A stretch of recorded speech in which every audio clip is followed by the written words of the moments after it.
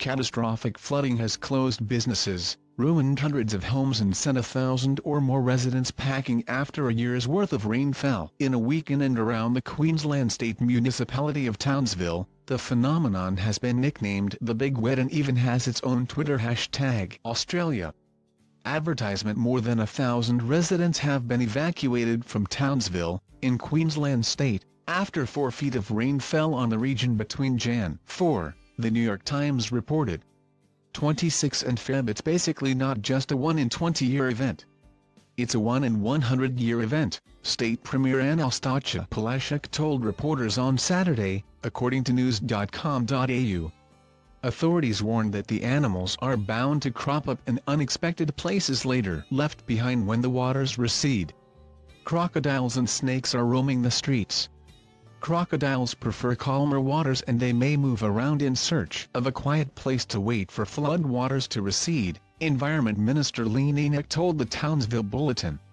Crocodiles may be seen crossing roads and when flooding recedes, crocodiles can turn up in unusual places such as farm dams or waterholes where they have not been seen before.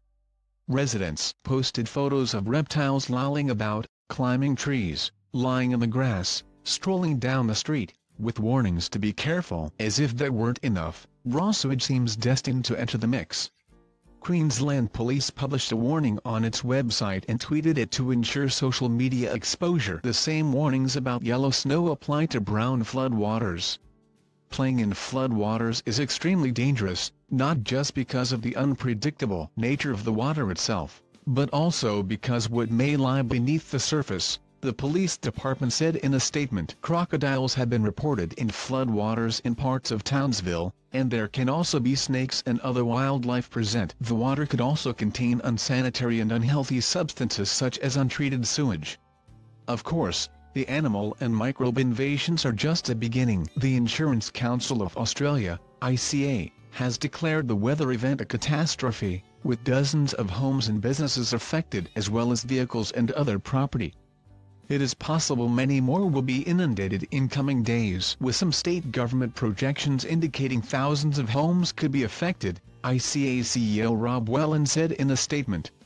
Therefore, the ICA has declared a catastrophe to help escalate the insurance industry's response.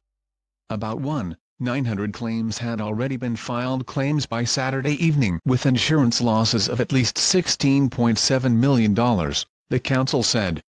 Many more were expected. Officially declaring a catastrophe will help reduce the emotional and financial stress being experienced by families and businesses, and provide them with peace of mind that their insurer is there to help, the council said. Dozens of private boaters were ferrying stranded residents and pets to safety, the Townsville Bulletin reported. More than 100 additional police officers will be deployed to the town as well, the newspaper said a wildly popular gathering place. The Townsville RSL Gaming Lounge, suffered millions of dollars in damage as the entire first floor was flooded. It is closed until further notice, according to its Facebook page. Floods and flooding,